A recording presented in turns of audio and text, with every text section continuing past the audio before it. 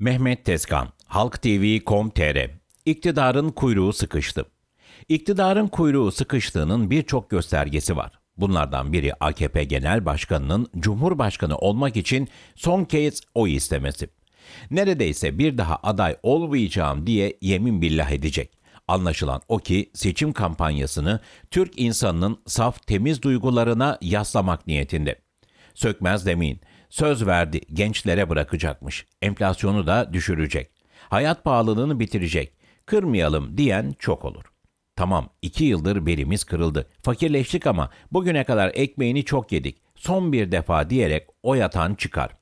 Çocukları okula yarı aç gitmeye mahkum eden, gençlerin hayallerini çalan, emekliye gün yüzü göstermeyen iktidara ama son kez istedi diye oy veren çıkabilir. Zaten Erdoğan'ın tek kozu bu. Çünkü söyleyecek çok fazla sözü yok. Erdoğan 2023 sonunda enflasyonun %20'ye ineceğini söyledi. İnandırıcı mı? Hiç değil. Hadi tahmini tuttu diyelim. 2023 yılının Aralık ayında enflasyon %20'lere indiğini tasavvur edelim. Çıkıp sormazlar mı? 2021 yılının Eylül ayında faizi düşürerek enflasyonu tek haneye indirme operasyonunu başlatırken enflasyon %19'du. Dolap beygiri gibi dönüp aynı yere dönüp gelmeyi mi vaat ediyorsun? %19'luk enflasyonu %85'e çıkarıp %20'ye indirmek başarı mı? İki yıldır çektiğimiz çile ne olacak? Dış güçler, ülkemizin üzerine oynanan oyunlar, Türkiye'nin güçlenmesini hazmedemeyenler gibi söylemler artık bir kulaktan giriyor, ötekinden çıkıyor. Toplum nakarata doydu. Enflasyonun %20'ye inmeyeceği belli. Maliye Bakanı ihracatçılara kızarak dolar yükselirse enflasyon planın bozulur dedi. Bu arada yeri gelmişken sorayım. Zincir marketleri tukaka ilan etmenin ötesinde enflasyonla mücadele planını bilen var mı? Yok. Belli, kur yükselecek, TL daha da değer kaybedecek.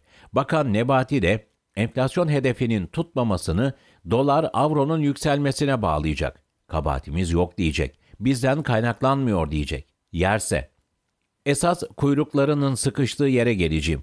Türk modeli falan hikaye. Sonradan uydurdular. İlk ağızlarından çıkan Çin modeliydi. Gerçeği de bu zaten. Amaçları şuydu. Kuru patlatarak ihracatçıya rekabet kolaylığı sağlamak. Malı ucuza temin ederek ihracatı arttırmak. İşçi ücretlerini 300 doların altına indirerek maliyeti iyice düşürmek, yabancı sermayenin gelmesini teşvik etmek. Kısaca Çin'in yerini almak. Yerlerde sürünen TL oldukça değerli avro. Yabancı sermaye, yerli ihracatçı için bundan iyisi Şam'da kayısı. Fakat plan tutmadı. Yabancı sermaye gelmedi. İhracatçının yüzü güldü ama enflasyon iç pazarı bitirdi. Türkiye'yi fakir ülkeler ligine düşürdü. İktidar çalışanı enflasyona ezdirmedim diye asgari ücreti katlasa ihracatçı şarlayacak. Çünkü en düşük işçi ücreti yeniden 450-500 dolara çıkacak. Oysa 300 dolar sözü vermişlerdi. Asgari ücret hak ettiği seviyeye çıkartılırsa ihracatçı bu koşullarda hedefi tutturamam diye sızlanacak. İhracatın artması için çare ne? Kurun yükselmesi.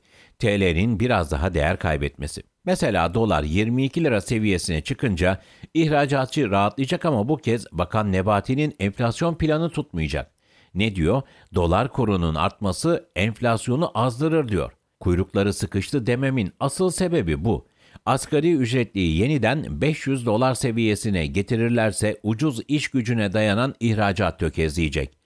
Kurun ihracatçının istediği seviyeye çıkmasına izin verseler bu defa enflasyon azacak. İki ucu boklu değnek dedikleri bu. İktidarın kuyruğunun sıkıştığı yer. Abone olmayı ve bildirimleri açmayı unutmayın.